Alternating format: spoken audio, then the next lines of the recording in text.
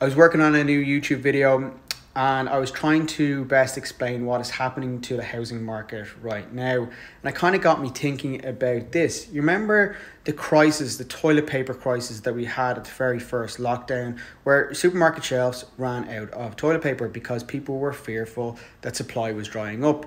Well, that's kind of what is happening in terms of the housing market right now.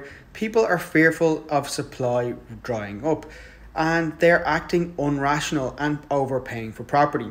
Granted, there's a lot of holes in that metaphor in more ways than one, but I think you get what I mean.